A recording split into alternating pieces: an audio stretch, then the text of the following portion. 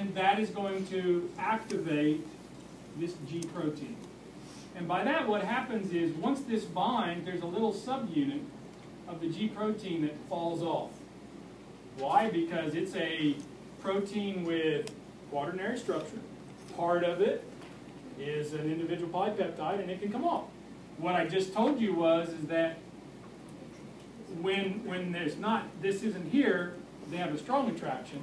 When this is present, they have a weak attraction, so this falls off. But it has a stronger attraction at this point once this has changed shape to that. So it comes over here, and it goes right there.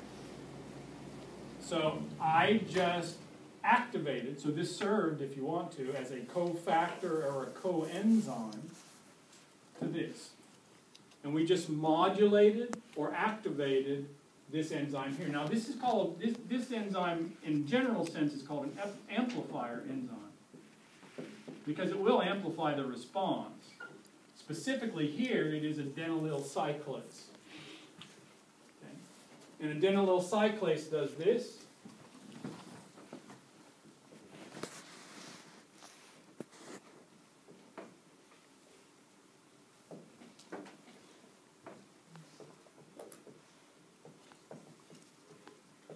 Give me that. It causes the release of two inorganic phosphate ions, no big deal, and it causes the ring to covalently close on itself and it becomes a cyclically, cyclical structure. Okay, so it goes from being a linear structure to a. Does any of that really matter? No. But that's what it does. That's what that enzyme does. So what do you have now?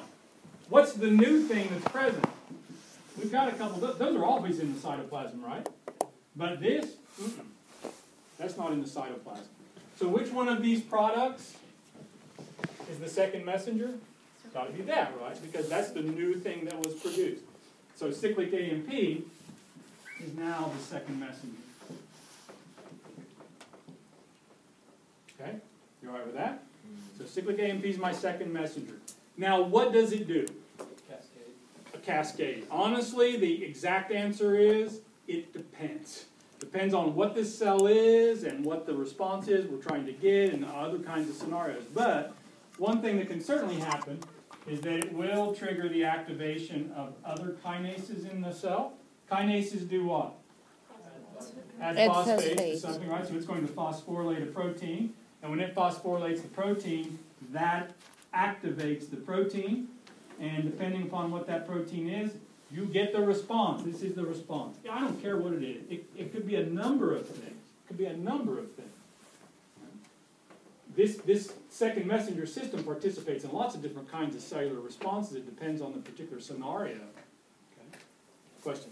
For the G protein, do we need to know the, the subunits for the like GS1? Uh, I would say yes, but I don't even know that. yeah, you need to know, but I wouldn't know if you're right or wrong. That's a good thing. It's been too long since I've had cell biology. Okay. So we're good with this. Now you also see why this amplifies the response, right?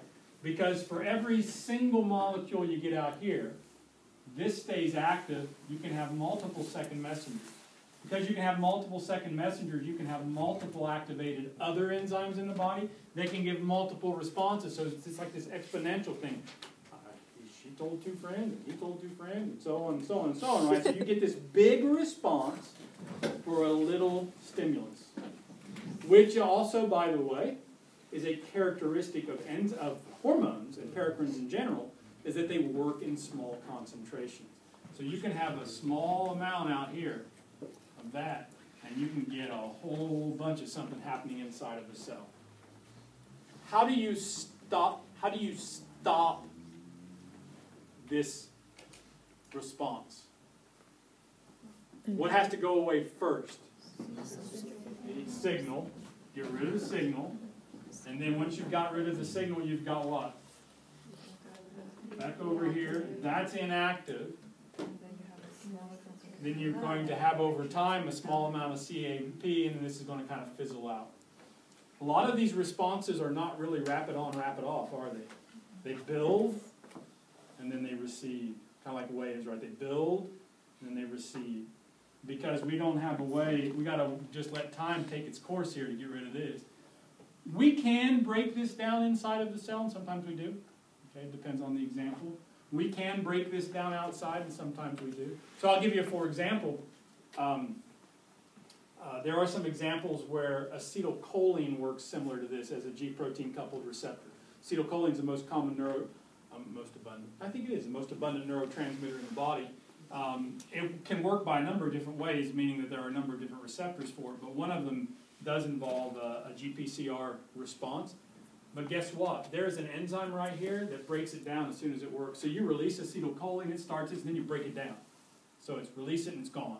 So you that way you can really kind of fine tune how much of the signal's out there. But sometimes we gotta just let it diffuse away. Sometimes the cell that released it takes it back. It depends on the specific example.